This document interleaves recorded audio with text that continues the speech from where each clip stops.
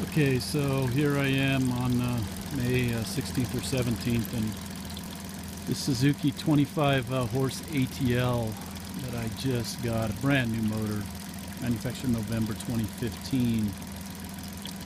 When I first uh, hooked it up yesterday on that transom, that adjustable mount from Garreleak there, and had this thing rigged, I had a smaller tub of water, and uh, just making this video to let others know that uh, it was a shallower tub. In other words, I was only filling water up to the uh, cavitation plate, the anti-cavitation plate, which is about a, oh, almost a foot lower than where I have it now with this bigger tub.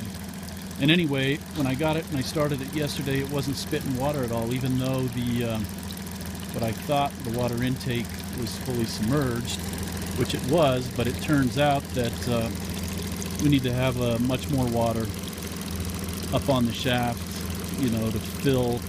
A hole kind of in the back, back there. You can't really see it because it is underwater right now.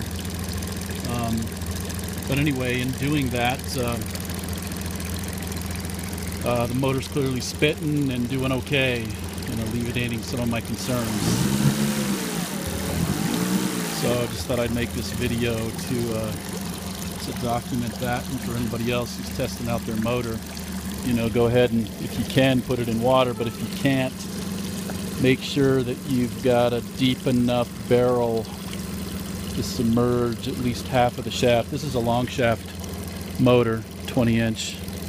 So anyway, that's it for now. Getting closer to getting this uh, cataraft completely deployed and ready for uh, data collection on the Rio Grande, which is the ultimate goal.